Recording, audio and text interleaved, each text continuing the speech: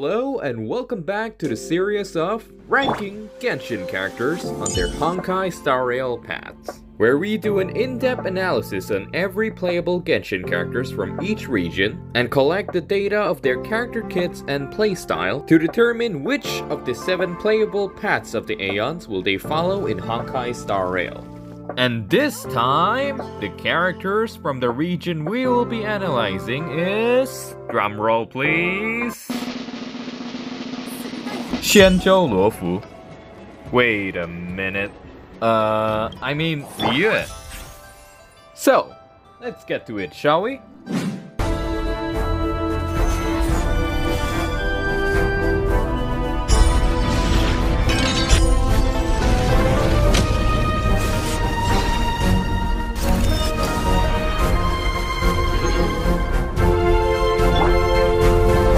Alright, let's do a quick recap on the paths of the Aeons for some of you guys who don't play Honkai Star Rail. The Path of Destruction are strong single and multi-target DPS who are known for their self-sustenance. The Path of Erudition are multi-target DPS works very well against groups of enemies. The Path of the Hunt are fast and agile single-target DPS. The Path of Preservation are the protectors of the team with their unbreakable shield and huge damage reduction. The Path of Harmony are the buffers for the team. The Path of Nihility are debuffers and crowd controllers for the enemies. And finally, we have the Path of Abundance who are known to be the healers of the team. So, you got all that? Good. If not, skill issue. An L plus ratio. Also, hey, subscribe for more. All you need to do is click a button and turn on the bell. Easy, right? But first things first, patch notes. Why, you ask? Because it has come to my attention that I might have made a mistake or two during the last time analyzing Mondstadt characters. Feel free to click on this card if you haven't watched it. Now, with the help of the comments and corrections from some smart individuals, here are the new updates. Lisa is now a Nihility character. It's true that on the release of Genshin Impact, Lisa was meant to be a Erudition, but now that Dendro exists including the existence of overall better electro units for damage, and following Acheron's existence of being the path of Nihility despite the obvious destruction and erudition type of DPS in her kit, I came into a conclusion that being a more effective DPS specifically only on debuff enemies are one of Nihility's aspect. And Lisa's biggest damage source being Violet Arc that needs to stack on enemies up to 3 times can be considered as a debuff. Next is Mona Megistus, and surprise surprise, she's now also a Nihility character. What? Mona's no longer Harmony? Never was. Let me explain. So, according to this smart dude in the comments, Mona's bubble affects the enemies so they can take more damage. She does not directly buff our character stats to boost our damage. Unless, uh, you guys count Trailing Tales of Dragon Slayers. But overall, Mona's bubble works more like Silver Wolf applying virus to the enemies, reducing their defense so they take more damage.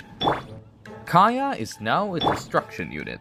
I mean, I kinda always thought Kaeya is more on the destruction side, just wasn't fully sure about it. But Kaeya heals every time he spams his skill, and the existence of Arlan being kinda a single target DPS until he has his ultimate ready, adds in more about Kaeya's potential. And finally, our favorite Chunibyo Prinzessin der Verurteilung, Amy! Uh, I mean Fischl. She now joins the Path of the Hunt because of Ozza's similarity to Numby. Also, despite her AoE, she really is more effective at dealing single target damage. Congratulations, you guys convinced me. Well, uh, I believe that's everything for the patch notes. Now let's go back to the real reason we're here. So, the first Liyue character we're gonna analyze is... Geo Traveler. Huh, were you expecting Xiangling? You thought it was Xiangling, but it was him, Geo Traveler. Geo Traveler's elemental skill Starfell Sword summons a meteorite. Well, at least that's what it says. This meteorite stays in the spot casted as a Geo construct and can be used for climbing. It also deals AoE geo damage to enemies when it hits. Geo Traveler's Elemental Burst Wake of Earth summons a wave of Geo Construct that is shaped like a circle, that also deals AoE geo damage to the surrounding enemies. He has a passive talent called Shattered Dark Rock which reduces the cooldown of Starfell Sword. Then we got Frenzied Rock Slide that makes Traveler's final hit of his combo of normal attacks deal geo damage. Constellation 1 makes party members near the radius of Wake of Earth gains 10% extra crit rate. Constellation 2 makes the meteorite from Starfell Sword explode when it's destroyed, dealing AoE geo damage. C4 regenerates Geo Traveler's energy for every enemy hit by Wake of Earth. And finally, we have C6 that prolongs the duration of Geo Traveler's construct. I believe according to the meta, Geo Traveler is most likely used as an off-field DPS support, or maybe as a crit rate booster for Constellation 1 or above. But overall, with Geo Traveler being both effective in single target and AoE damage, and considering how Crystallize works, it is possible for Geo Traveler to self-sustain. Therefore, I declare that Geo Traveler joins the Path of Destruction. Xiangling Alright, now we actually get to Xiangling. Xiangling's elemental skill Guoba attack summons the almighty stove god to incinerate enemies. Yeah, that that's kinda it. And the elemental burst Pyronado is where Xiangling shines brighter than any 5 stars in existence by summoning a flame tornado that turns everything in the surrounding to ashes. Crossfire increases the range of Guoba's flamethrower. Then we have Beware, it's super hot, which makes Guoba drops a chili pepper when he disappears that boosts party members' attack if they pick it up. Constellation 1 decreases enemies' pyro resilience when hit by Guoba's attack. Constellation 2 makes Xiangling's final combo of her normal attack deal some implode status to the enemies that can explode. Constellation 4 increases Pyronado's duration. And finally, Constellation 6 that boosts all party members' pyro damage bonus when Pyronado is active. I believe we know what path fits Xiangling the most with that Pyronado of Doom. Welcome to the erudition, gang Xiangling. It's real! Xingqiu. Xingqiu's elemental skill Guhua Sword Fatal Rain Screen allows Xingqiu to perform twin strikes with his sword dealing hydro damage. After doing that, your party members will be surrounded by a couple rain swords that reduces incoming damage. Xingqiu's elemental burst Guhua Sword Rain Cutter summons back the rain swords, but this time enhancing it, dealing follow-up rain Surge attack when your party members perform a normal attack.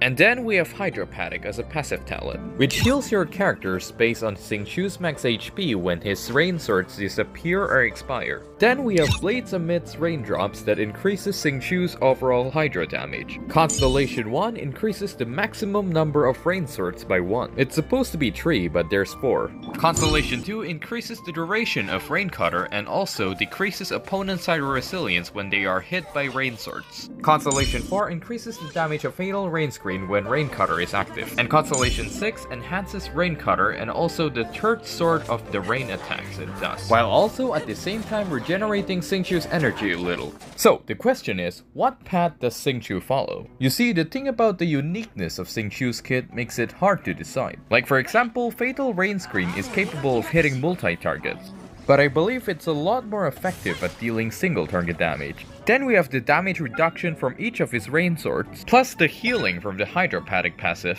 If we only trace those feats to Xingqiu himself, those will be the aspects of the path of destruction. But instead, the rain swords kinda works on other party members, which makes the damage reduction somewhat of a preservation aspect. So I can't really put Xingqiu in the path of destruction because his sustenance is actually shared with others. He can't join the path of harmony or preservation too because he's not directly buffing other party members' stats and also his damage reduction is very low. I also believe that his follow-up rain attacks are more effective at hitting one target at a time, which leaves us to the only possible path, the hunt.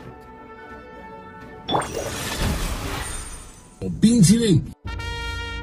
Chongyun's elemental skill Spirit Blade Chonghua's Layered Frost summons an AoE ice field that converts normal attacks to cryo damage for sword, polearm, and claymore users. The passive talent Steady Breathing allows those weapon class to have their normal attack speed increase in Chonghua's Layered Frost. The second passive talent, Rimechaser Blade, summons a blade to strike nearby opponents when the Chonghua Layered Frost expires.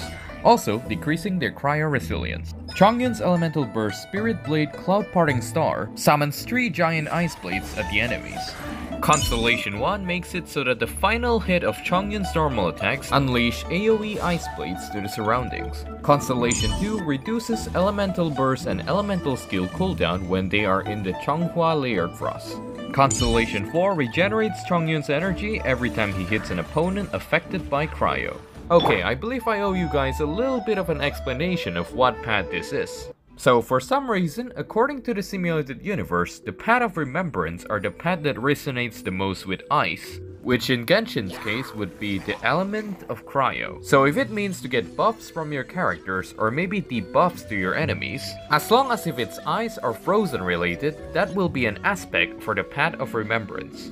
And finally, we have C6 that boosts Chongyun's elemental burst damage against enemies with lower max HP percentage than Chongyun. Also, the giant ice blades is increased from 3 to 4. Now I believe according to the meta, Chongyun is most likely used as an off-field cryo applicator support.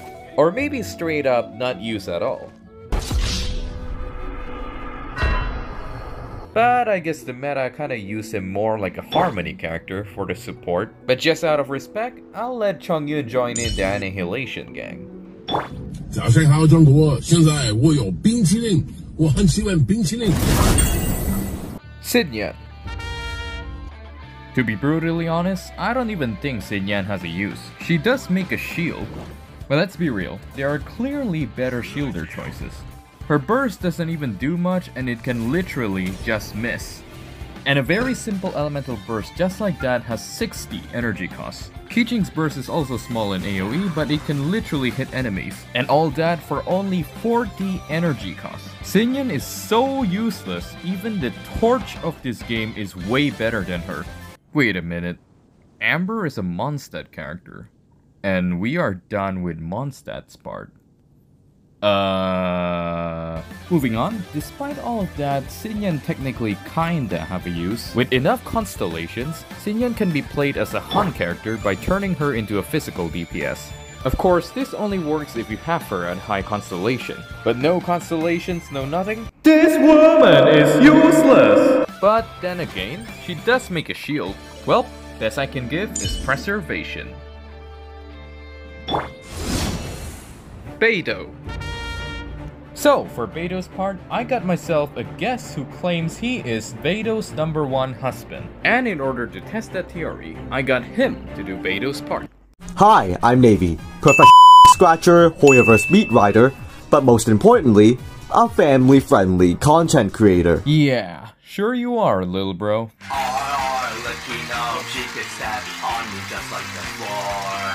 RR, Latino, I beg, mommy, please do it harder. Hmm, sounds like a cheater to me. Now, Strangely has strangely asked me to do the Beidou part for him, so I happily obliged.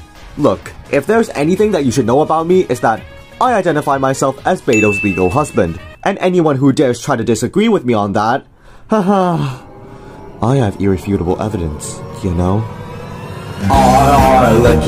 Alright, Beidou is a fun and versatile character that can be slotted into any Electro team that you can think of. And before you all say, hey, isn't she just Fischl but worse? In my defense, Your Honor, I think you should go. Okay, okay. Time to actually analyze her tit. I, I mean kit. When pressing Beidou's elemental skill, it will create a small AoE damage to surrounding enemies. However, it also allows you to parry enemies by creating a damage-absorbing shield, while simultaneously dealing massive AoE and increased damage just by holding it. So not only does it deal great AoE damage, but also has amazing survival capabilities, since it allows you to absorb damage, as you can see right here. So, Destruction. Now, when activating her burst, it achieves two things. A. When a character does a normal or charge attack, it will do single target electro damage, and if there are more enemies close by, then the damage will bounce between the targets two more times. And B. It reduces damage received and also increases interruption resistance. And yep, same thing. Both AoE damage and survival capabilities checked. So, destruction. And strangely, Beidou's burst can target up to 3 enemies. And you know who also can target up to 3 enemies? Basically every destruction character. Its first passive decreases stamina consumption when swimming by 20%. Normally I would put this at Harmony, but strangely said, nah, I'd hunt. So, hunt, I guess. Okay, so the reason I call this the Hunt is because it's not exactly a buff passive talent. All it does is just reduce stamina for more mobility, so yeah. Her A1 passive allows her to deal significant AoE damage, so long as you don't have a skill issue. Her A4 passive, after you pair it with Beidou, it allows her to essentially just attack faster and deal higher single target damage. Now for constellations. C1. Summons a shield after casting her burst that scales off of her max HP. Preservation. Need I say more? C2. Remember what I said earlier about her burst? Well, scratch that, cause instead of bouncing between targets two additional times, you can now bounce between targets four additional times, effectively triggering 5 instances of damage when you do normal or charge attacks. And you know who also deals damage to 5 enemies maximum? Basically every single erudition character. C4 just gives a teeny tiny little bit more single target damage when attacked. Destruction. C6 after casting her burst, her surrounding characters receive an electro resistance debuff by 15%. Surprisingly, nihility. Alright, now that we've seen it all, ranging from her constellations, to her kit, to her tit, where does Beidou fare in the Honkai Star Rail paths? Now, if we just compress everything together, just like how she compresses me during set, her whole kit just screams dealing decent AoE damage and survival capabilities. So, destruction. And hey, it's also really fitting, because every time we're in bed, she always destructs my P. Alternatively, you can play her as a preservation character. Said no one ever, because why in the ever-living- Alright, Neivy, I think I have tolerated enough of your swearing. This is a family-friendly Minecraft server, you know? So maybe instead of locking you up in a basement with 69 Hu Taos, why don't we make it 420 Hu Taos, hmm? And we both know very well that you wouldn't like this idea, would you? So, I believe we have an understanding, yeah? Also, I know this really isn't my business, but I believe you'll have to answer to your so-called wife Beidou because of... But anyway, destruction. Ningguang. So, I thought of asking gratis status to do Ningguang's part. And the reason for that is pretty self-explanatory. Okay, maybe he's not the best character, but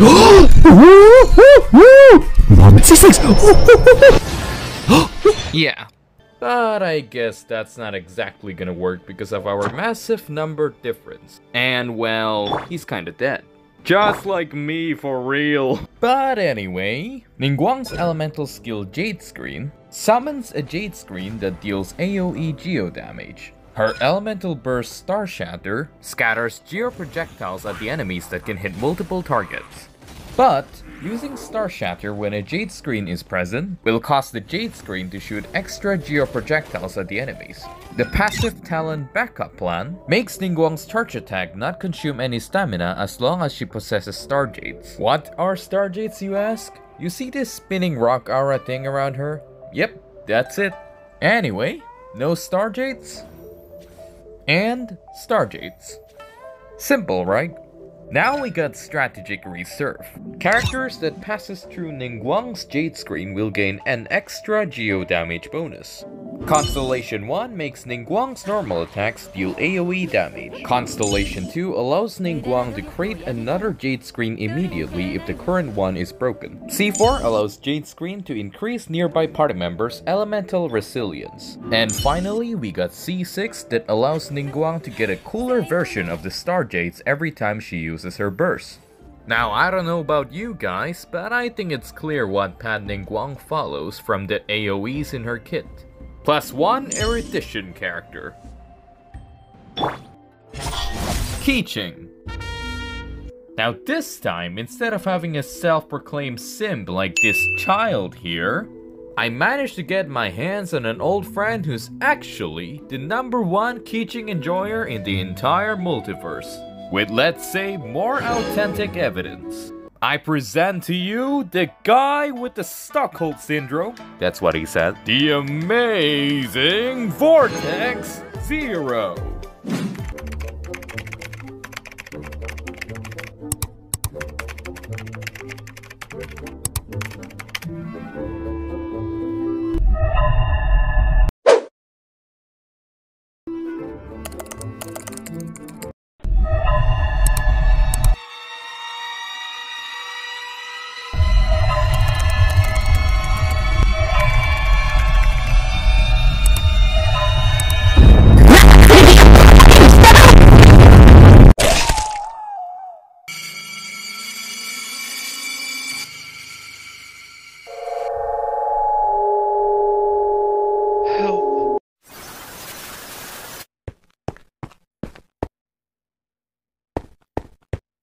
Oh, hello.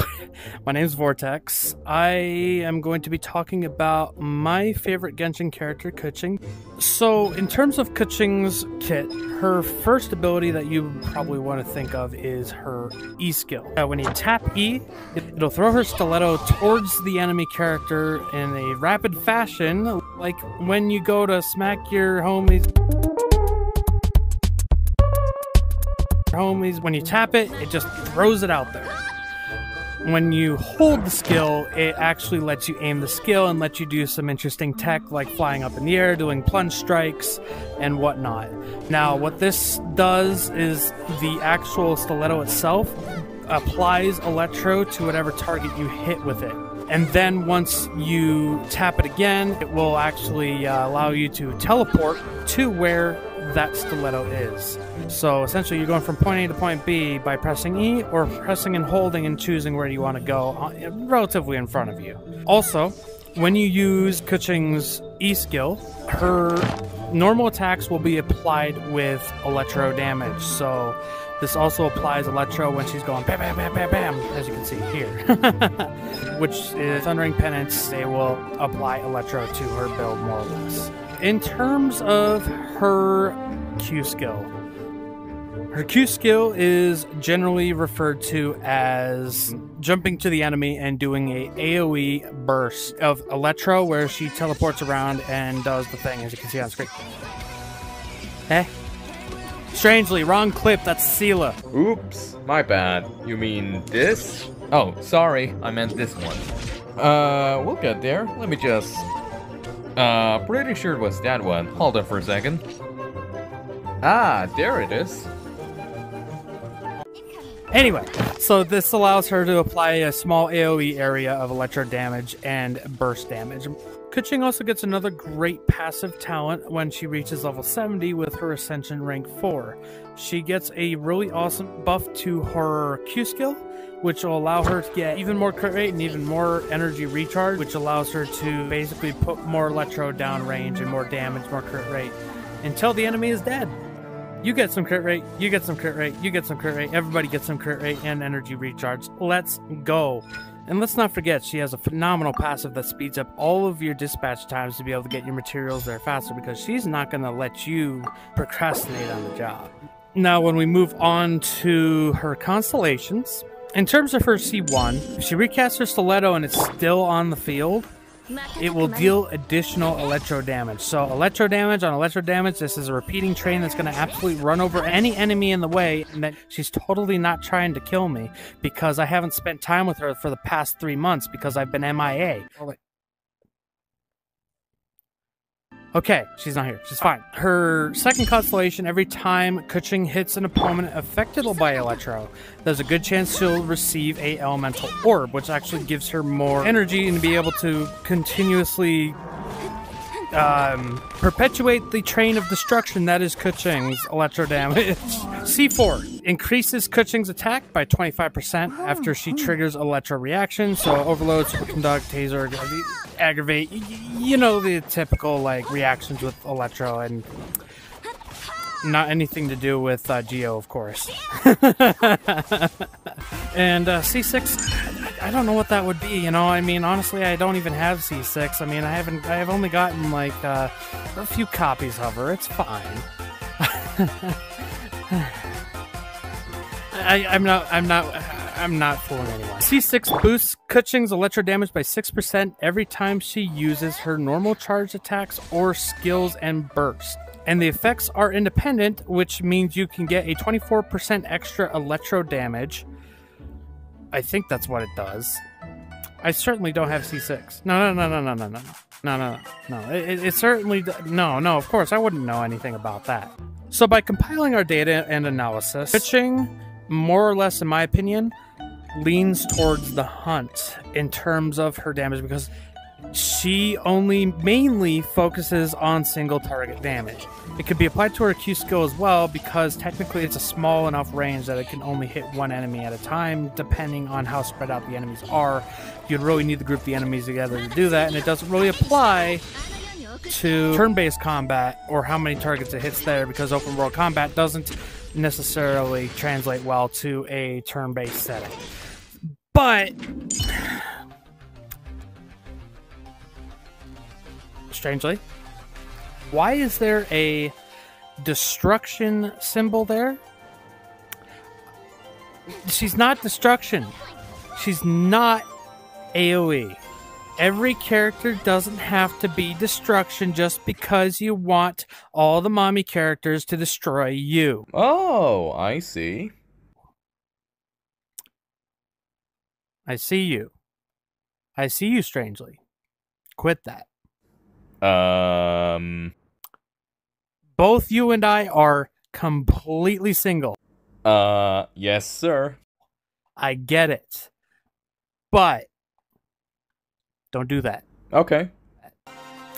So after checking the script, making sure there's nothing left for me to talk about, I need to keep moving because Keqing is probably going to come after me, and she's probably right behind me. By the way, I'll be streaming soon and I'll be debuting soon, and this model will be updated.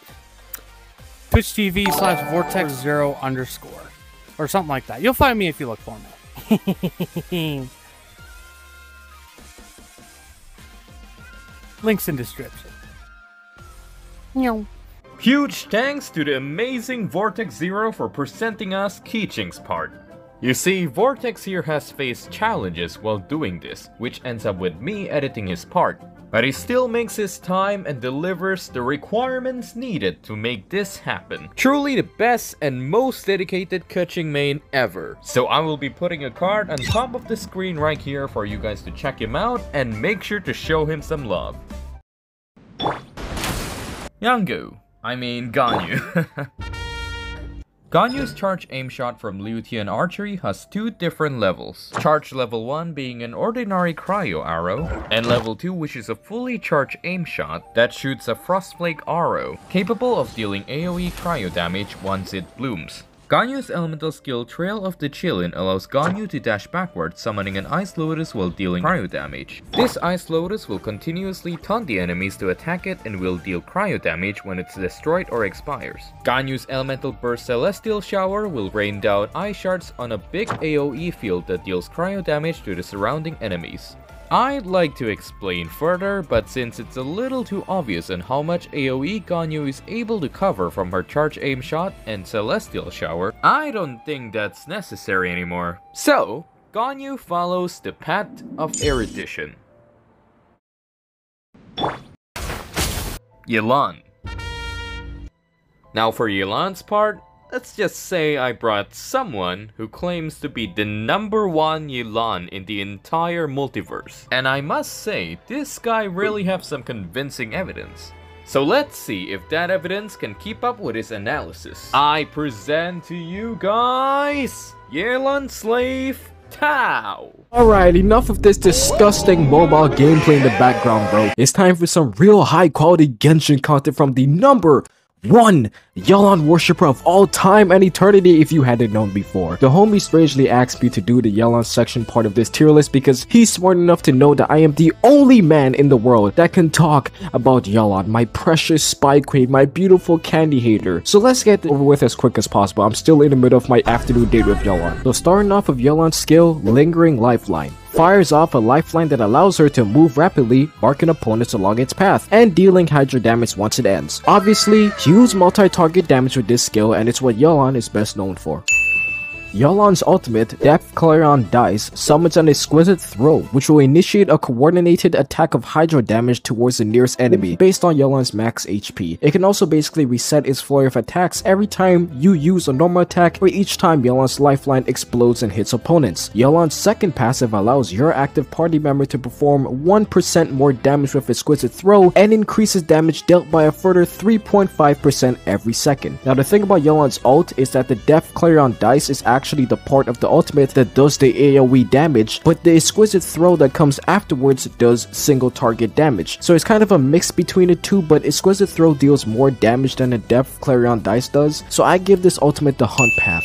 Yelan's first and third passives aren't very important, but if I had to give them both a path, it would most likely be the path of Harmony. Wait a minute, can we rewind that? Of Harmony. As Yelan's HP increases based on the party's elemental types for the first passive. Whoa, whoa, slow down there, Tao. It increases Yelan's max HP. It doesn't increase the party member's max HP. Therefore, it only buffs Yelan herself, which is technically the path of destruction instead of harmony. You just made a mistake.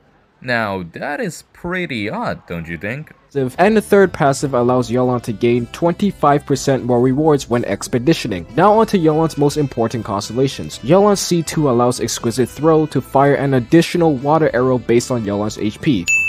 Yelan's C4 increases all party members' max HP by 10% for 25 seconds for every opponent marked by lifeline when the lifeline explodes. Now at first I thought this was abundance, but this is not actually healing your party members, it's just stacking the HP they already have. So in case of characters like Hu Tao and even Well herself, this is a huge buff because it gives Hu Tao more HP to do more damage, but doesn't heal her from her low health. Huh, so you do understand the concept of harmony. Wouldn't that just make things even weirder? And finally, Yelan C6 turns her into the best minigun in the entire game. Extreme single target damage for this one, so I'm gonna have to go with the hunt for this one. So, what should Yelan's path be? Well, I think it's pretty obvious. It's clearly the path of beauty because Yelan is truly the most gorgeous, voluptuous, stylish, and glamorous woman in all of- But in all seriousness, it's kind of a throw between the hunt and erudition. Now, according to my calculations, the hunt plus erudition is equivalent to destruction, I believe. But I'm just gonna give her the path of erudition simply Okay. simply because her skill is famous for high multi-target damage coverage, and she's literally a spy who works for Ningguang. She's all about logic and strategic behavior in which, strangely, you know fully well you should also be taking the uh characters' personalities into consideration. You know it, you just don't want to admit it. Well, sorry to break your bubbles, Tao, but that's not gonna work.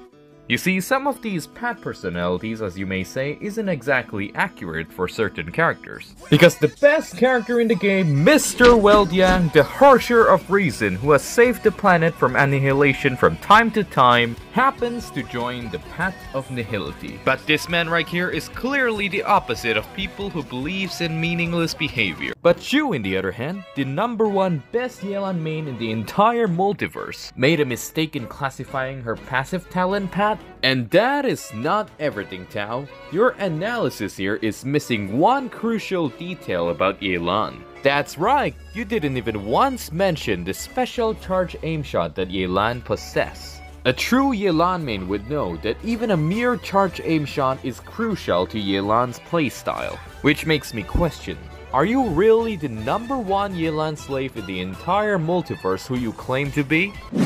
Breaking to Teyvat news! Ladies and gentle travelers, some hot and steamy news just came in. We recently found out that a YouTuber named Tao, the self-proclaimed biggest Yelan sim in the whole multiverse, made a big Oopsie! He allegedly forgot to even mention the charge aim shot of Yelan, which is pretty important to her kit. Any respectable Yelan main should know that you have to use her charged aim shot while waiting for her hydro particles to come back. And even more so, he gave her passive skill the Harmony Pass, even though it only buffs herself. I, I mean, I'm no Honkai style expert, but that's gotta be more lined up for destruction, am I right? Can you believe it? What the freaking dingo? Wait, what? That wasn't part of the script Strange they gave me?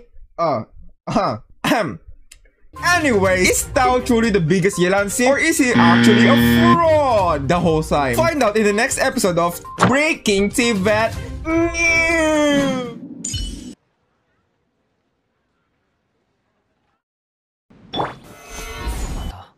Zhongli. It's finally time for the Archon analysis. Now, if you've known me for a while, then you'll notice how much I love Zhongli. And I'm on the road to C6 him without spending a single dime. You see, I have been saving a total of around 300 pulls so far. And it would have been a lot more than that if I didn't get, well, Kazuha Eula, Nahida Qiqi, C2 by the way, Godzilla Darth Vader, and the most recent case is... Venari. Also, I guess I know who to blame now for my C3 keychain. Anyway, Zhongli's elemental skill, Dominus Lapidis, has a tap version and a hold version. The tap version allows Zhongli to summon a Geo Pillar that can deal AoE Geo attacks. While the hold version deals AoE Geo damage, summoning a pillar, and also creating the iconic Nokia Jade Shield that everybody respects. Now Zhongli's pillar here is capable to resonate with nearby Geo constructs, which will further increase the AoE of its Geo attacks. And this also surprisingly works with enemies' Geo constructs. Now onto his Jade Shield.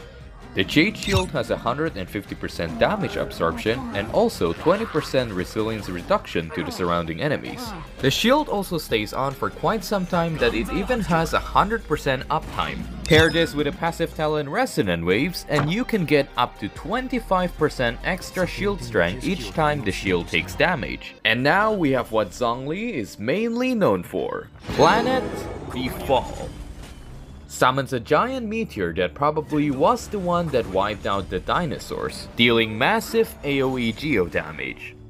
And if you somehow survive the meteor, you're petrified, unable to move or scream, waiting for your impending doom. Anyway, Dominance of Earth increases Zhongli's normal attack, skill, and burst damage based on his max HP. Constellation 1 allows Zhongli to summon an extra pillar, making it 2 pillars maximum. C2 gives everyone a Jade Shield every time Zhongli tries to wipe out dinosaurs, and this even works on co-op mode. And C4 increases Zhongli's Meteor's AoE and petrification duration.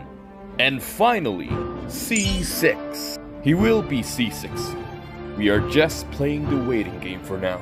Every time Zhongli's Jade Shield takes damage, that damage will be converted into HP, making you casually forget healers exist. So, what path does Zhongli follow? Preservation. I mean, did you see the guy? Aventurine is literally him.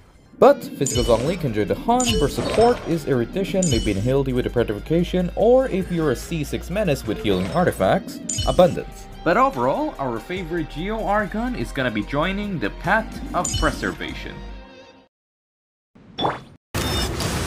Xiao. Alright everyone, for Xiao's part, we have a very special guest coming to analyze him. The number one Xiao in the entire multiverse. The guy who would go so far just to defend Xiao's height. I present to you guys the one and only Zy0x! Uh, Zy0x? Mr. Socks? Zionics? Huh.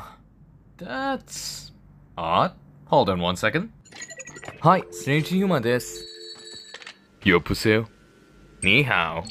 Oh, I see. Hi, wakarimashita.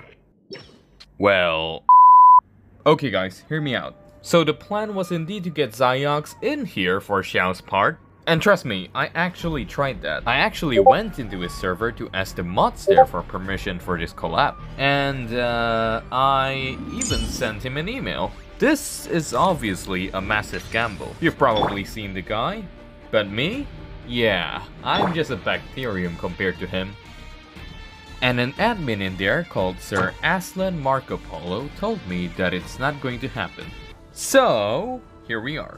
Oh well, Nick, if you're watching somehow, this is for you. And whatever that will be shown next, I got Alan's permission.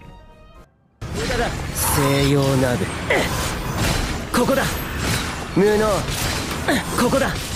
無能消えろ。無能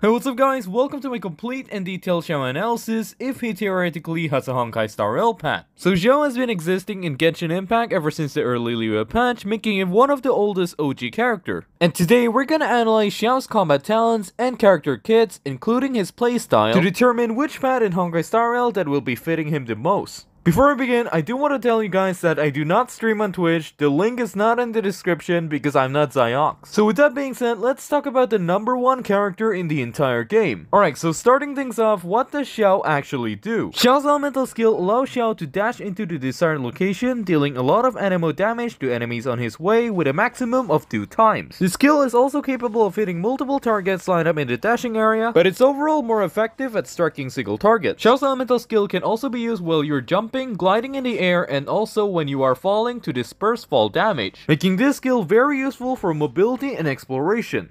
Shogun also gradually increases elemental skill damage by 15%, and this effect lasts for 7 seconds and has a maximum of 3 stacks. Also note that every time you gain a new stack, it refreshes the effect's duration. And of course, this thing only works if you have Xiao's second ascension passive.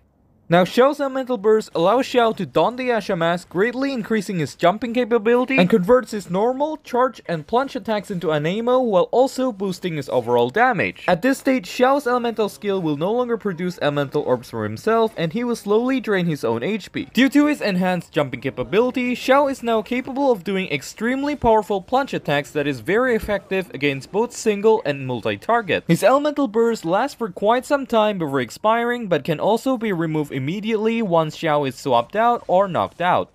Also, his first Ascension passive allows Xiao to increase his damage over time by 5%, up to a maximum of 25% if he's using his burst.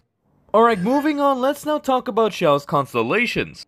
His C1 adds an extra charge to his elemental skill, making him capable of spamming it in a new maximum of 3 times in a row. C2 increases his energy recharge when he's off field, which is not exactly the best because he will often be on field most of the time. Xiao C4 increases his defense by 100% if his HP drops below 50%. Honestly, this is the worst constellation a character could have and I have no idea why this is on Xiao, cause it can clearly be way better than this but it's quite literally the opposite. For C6, it allows Xiao to spam his skill every time he plunges to at least 2 enemies while also ignoring the skill cooldown.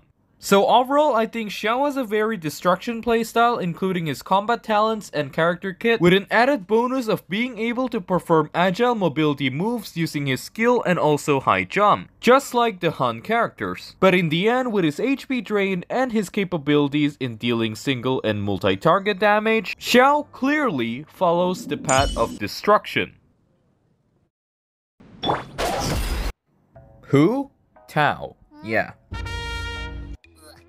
Hu Tao's elemental skill, Guide to Afterlife, will sacrifice a portion of Hu Tao's own HP and enters the Paramita Papilio state. At this state, Hu Tao's attack is gonna greatly increase based on her max HP. Also, she gains Pyro Infusion for normal attacks, charge attacks, and also plunge attacks. The Paramita Papilio state also allows Hu Tao to mark the enemy with Blood Blossom every time she uses her charge attack. The Blood Blossoms stay on the enemy for a while before dealing a burst of pyro damage on expiry.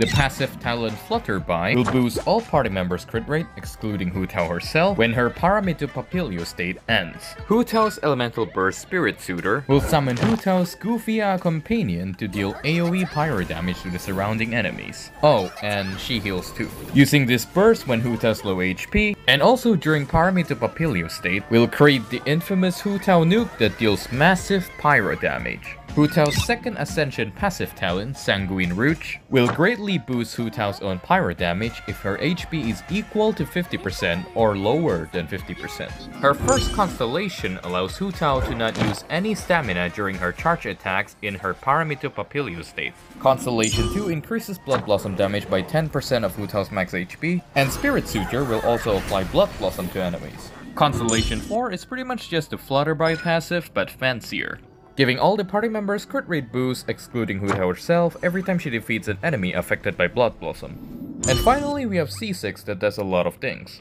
If Hu Tao's HP drops below 25%, or if she's about to die, she will cheat death itself and gain 100% crit rate with an added bonus of 200% resilience against every damage that will last for some period of time, and in this state, all of her damage will be guaranteed critical hits no matter what. With that being said, what path does Hu Tao follow? Okay, so here's the thing. Hu Tao is very good at dealing single target damage. She's even equipped with a special mobility sprint that allows her to make swift movements and even escape traps. Now because of these reasons, I once thought that Hu Tao joins the path of the Hunt. But sacrificing HP to boost attack and also capable of regaining them back without a healer. Not to mention how Hu Tao gets massively stronger when low HP. Yeah, she she's a destruction character. Besides, Hook exists, and she does single target damage 90% of the time. Special thanks to Chris and Snirky from Reddit to provide me with their Hu Tao constellation clips. Tartaglia. Okay, so technically here Tartaglia is not really a Liyue character. He's more of a Snezhnaya character. So for that reason, instead of restricting Tartaglia's video shoot to only Liyue, we're gonna allow some of his clips to be filmed at Dragonspine, because that's the closest thing we got to Snezhnaya. Tartaglia's charge aim shot allows him to apply Riptide to an enemy. Enemies affected by Riptide will be marked and will take Hydro damage over time. This will occur every time Tartaglia hits an enemy with his charge aim shot. Tartaglia's elemental skill Foul Legacy Raging Tide allows Tartaglia to go to his melee stance, now wielding dual Hydro Blades to deal Hydro damage, and also marking enemies with Riptide. And tapping this skill again will bring Tartaglia back into his bow stance. And for some reason I can't explain, Tartaglia is unable to perform his plunge attacks in this state. He can do it just fine without his skill though. Tartaglia's elemental burst Havoc Obliteration can be triggered in his bow stance and melee stance. They both deal massive AoE Hydro damage and will be enhanced if the enemies are affected by Riptide. Again, I would like to explain further, but Tartaglia being the only character that can freely swap from range to melee, and is clearly good at dealing both single target and AoE damage, I don't think that even matters anymore. But here comes the tricky part. Tartaglia can be classified as a destruction character with his range and melee capabilities, but his Riptide is technically a debuff and it deals damage over time. But if I were to pick, I think the Path of Destruction fits him more. So Tartaglia joins the Destruction Gang. He can be an Hildy though. Saul Goodman Saul Goodman's elemental skill Sign Edict summons a blistering flame that deals AoE pyro damage. Targets hit by this skill will give Saul the maximum amount of Scarlet Seals. What are Scarlet Seals you ask? The red sigils that appears behind Saul every time a normal attack hits an enemy. It has a maximum of 3 stacks and the more Scarlet Seals, the stronger Saul's charge attack is. And as you guys can see here, no Scarlet Seals means weaker charge attacks. The Elemental Burst Done Deal deals AoE pyro damage, and bringing Saul Goodman to the Brilliant state. In this state, Saul will continuously gain Scarlet Seals over time, making the charge attacks even more spammable. The passive talent Proviso will convert all Scarlet Seals consumed by charge attacks into pyro damage bonus. Then we have Blazing Eye that will deal follow-up AoE pyro damage every time Saul Goodman's charge attacks crits. C1 reduces the charge attack stamina cost the more Scarlet Seals Saul have.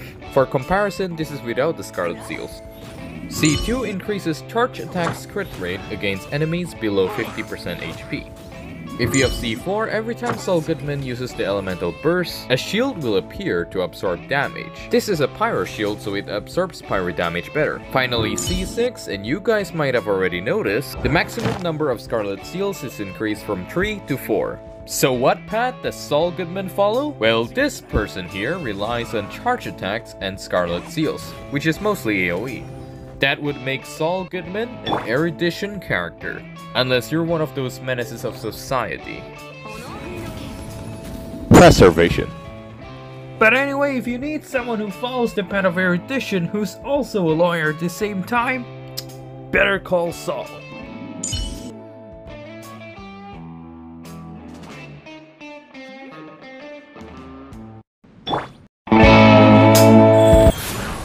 Qiqi. I pulled a sheet. I pulled a sheet. She is abundance. Her skill can heal you. Her burst heals you too. C1 regens her energy. C2 buffs her damage. C4 debuffs the enemies. C6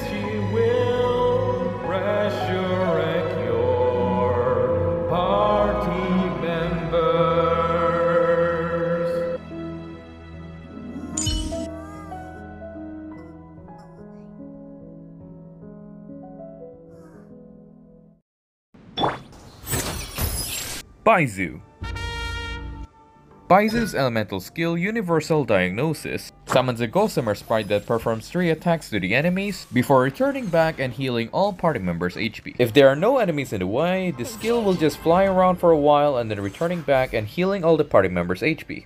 Baizhu's Elemental Burst Revivification. Okay, I have no idea how to pronounce this. Revivification. Revivification.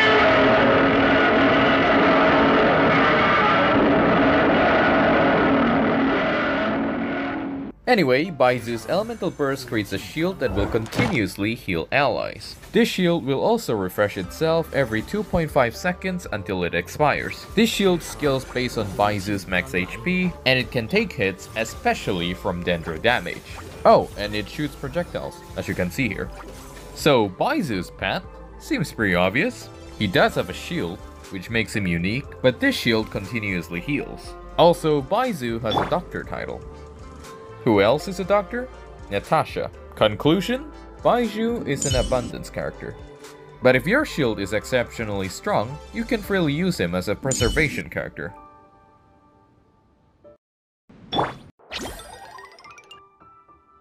Yao Yao. Okay, so why don't you guys take a look at this and you tell me what patch he follows. That's right, folks! She's clearly a destruction character and a follower of Nanook.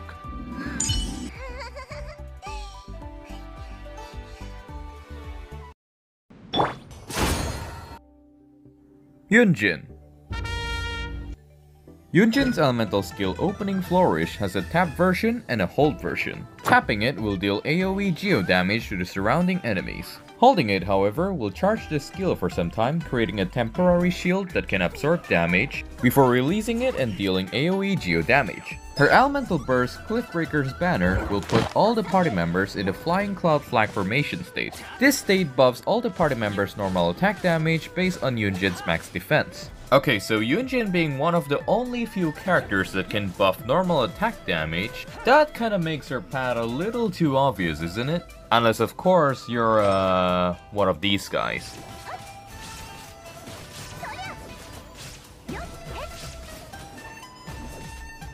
Seriously, don't build Yunjin as a destruction or a Hunt character.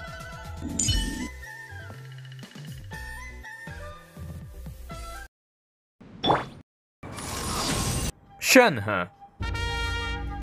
Shenhe's elemental skill Spring Spirit Summoning has a tap version and a hold version. The tap version will allow her to dash forward dealing cryo damage to the enemies in the way. The hold version will summon Shenhe's stand and will deal AoE cryo damage instead. Using Shenhe's elemental skill will allow all the party members to get the Icy Quill effect. And what it does is specifically buff cryo damage based on Shenhe's max attack. Meanwhile, Shenhe's Elemental Burst Divine Maiden's Deliverance creates an AoE field that will continuously deal cryo damage, while also reducing enemies' cryo and physical resilience in the field. So Shenhe is the only character in the game that is specifically used to buff cryo damage.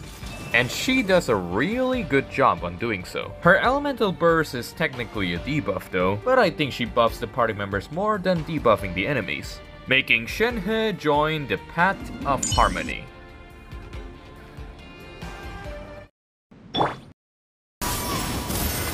Xianyun Xianyun's elemental skill White Clouds at Dawn allows Xianyun to enter the cloud transmogrification state, making her capable to leap in the sky up to 3 times before doing a special plunge attack dealing AoE anemo damage.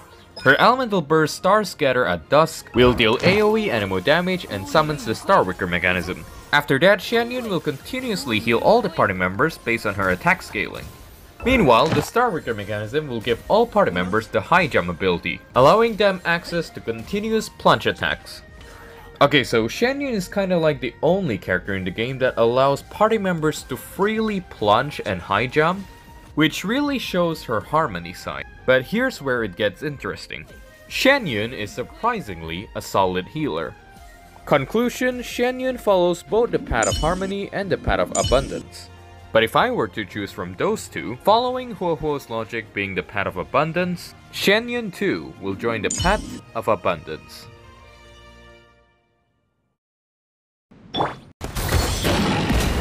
Gaming um, actually, it's pronounced as Jiaming, you uncultured swine. What the hell you say? Everybody come look look, it's the pronunciation police! This pronunciation grammar police thing is so much taller. Not wearing shirt. What the hell are you even trying to flex, huh? Your muscles, bro, don't even have nipples. Look at his goofy VR hat. Take that off and what are you? What the? that hair so messy, it make Franklin look like Kaya. You should go visit a barber, leh. Oh wait, you negative Pura. Maybe you should go out there, be a street performer to get money, leh. I'll show everyone your number one song. Ah, RR, Latino lover of Smash Dying Queen. Hope she could stand on me just like the floor. Okay, I I get it. You know, we can agree to disagree, right? Gaming kind of also has this nice tone to it. You know, it it's fine. It's fine. That's what I thought. Anyway, since Jiaming is our final character, we're gonna speedrun this. Ha! I told you my pronunciation was correct. RR, Latino Smash Dying's greatest death machine. I beg, mommy, please do it harder.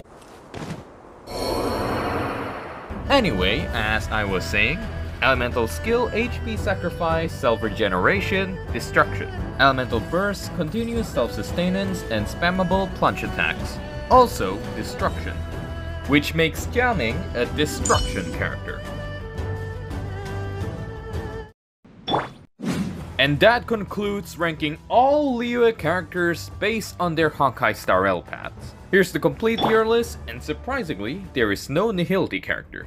Except Tartaglia can technically be one. I would like to thank everyone that helped making this video possible. The creators who's willing to collab, and those who made their time to record their gameplay to be used as clips. I probably could not have done this without you guys, so really, you guys are amazing. Thank you. Just like before, if you're interested in trying the tier list, it is linked in the description below and also the pinned comment. Obviously, I plan to make more of this analysis for each regions in Teyvat, so if you don't want to miss out, subscribe for more. Even though it's probably gonna take like forever. If you made it till the end, congratulations. Now if you haven't already, check out the prequel to this video where I analyze Mondstadt characters instead. All you gotta do is just click right here or the card above. You might want to hurry up and click it before the video ends. I'll see you guys in that video.